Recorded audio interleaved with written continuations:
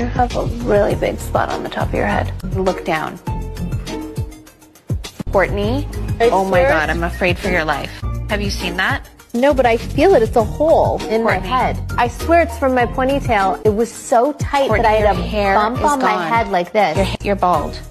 Courtney, you have to go to the hospital right now. I'm not going to the hospital.